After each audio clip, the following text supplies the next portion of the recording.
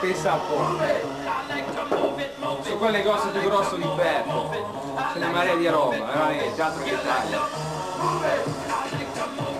Ok, good. Thank you.